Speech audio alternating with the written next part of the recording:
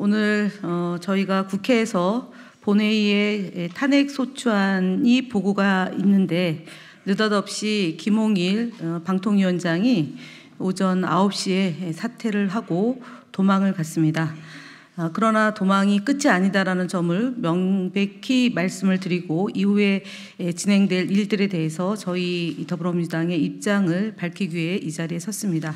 일구이연하는 김홍일 전 위원장 도망간다고 끝이 아니다. 이동관에 이어 김홍일 전 방통위원장도 결국 도망갔습니다. 김홍일 방통위원장은 지난 21일, 25일 과방위의 증인으로 출석해서 2인 체제 운영이 바람직하진 않지만 불법이 아니라 생각한다고 하더니 결국 백기투항한 것입니다.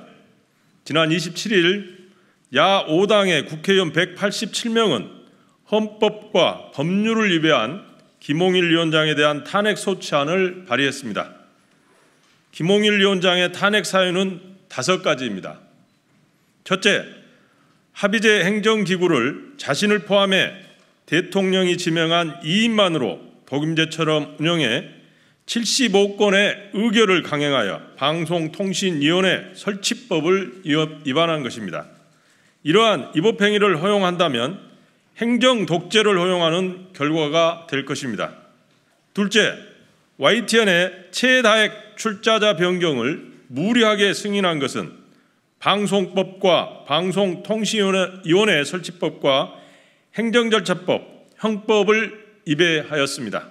셋째, 방송통신위원회는 방송통신심의위원회를 지도, 감독할 의무가 있음에도 법정 제재 남용, 표적 심의, 청부 민원 의혹 등 비정상적인 방심위 운영을 묵인하고 있어 이는 형사처벌법에 따른 직무유기입니다.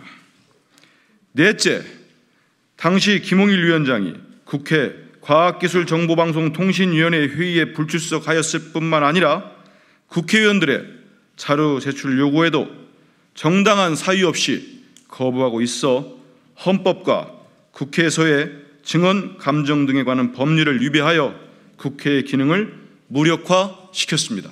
다섯째, 2024년까지 허가해준 TBS의 존폐 위기에 대해 방송통신위원회가 아무런 조치도 취하지 않는 것은 방송정책 주무기관으로서 소관 사무를 책임있게 수행하지 않은 직무유기입니다.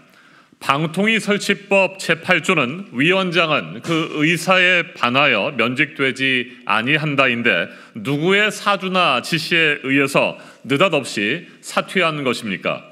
김홍일 전 위원장은 국회에서 위증한 겁니다. 민주당은 김홍일 전 위원장에 대해 헌법과 법률에 따라 끝까지 책임을 물을 것입니다.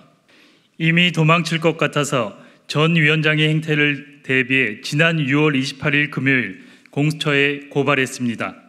탄핵 표결은 피했지만 이후 첫째, 국회법 130조, 131조에 따라 국정감사 및 조사에 관한 법률에 따른 조사의 방법 및 주의 의무 규정을 준용해 법사위에 조사를 받아야 할 것입니다.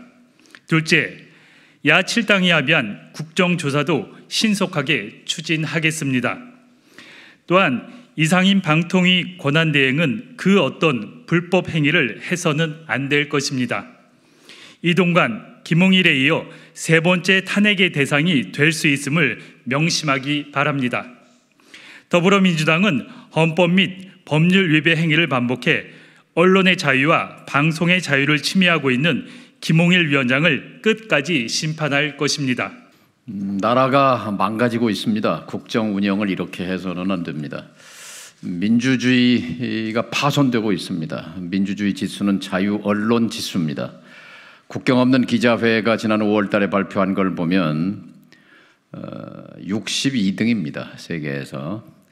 문제가 있는 자유 언론이 침해되고 있는 국가로 분류됐습니다. 어, 부끄러운 일입니다. 곧 이명박 박근혜 정부 때 언론 자유 지수 70등으로 어, 최저를 기록했던 것을 이번 사태로 아마 부끄러운 기록을 경신하게 될 것입니다. 공정과 상식을 내걸었던 어, 집권 초기의 구호는 어디 갔습니까? 공정방송, 상식방송을 허용하십시오. 그것이 이 국민을 위해 이 정권이 할 수 있는 최소한의 도리라고 생각합니다. 이명박 정권, 박근혜 정권이 역사에 어떻게 기록됐습니까? 윤석열 정권 그 전철을 따라가고 있는 것이 안타깝습니다. 다시 한번 상식 회복을 촉구합니다.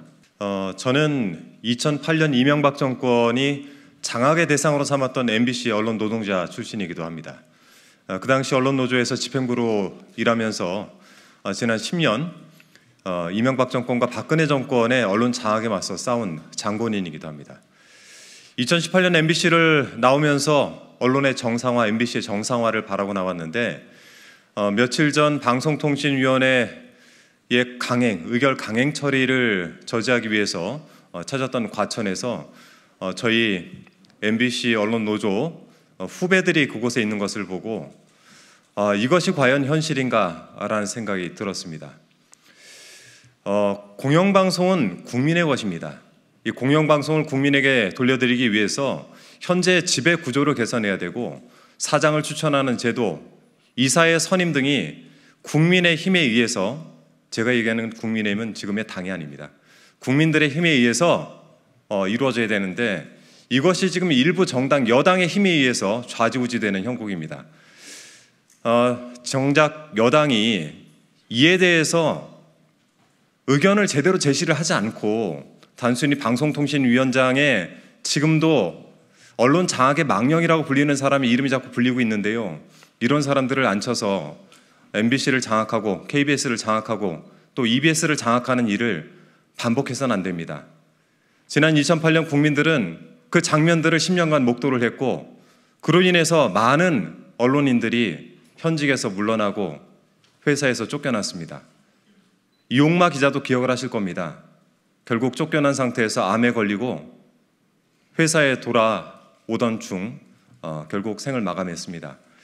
우리는 다시는 국민의 방송인 공영방송이 국가로부터 지배당하는 것을 보아서는 안 됩니다. 다시 한번 경고드립니다. 방송사법 통과시켜야 되고요. 방송통신위원회는 5인 합의제 기구로 돌려놔야 됩니다. 국민 여러분의 많은 관심을 부탁드리겠습니다.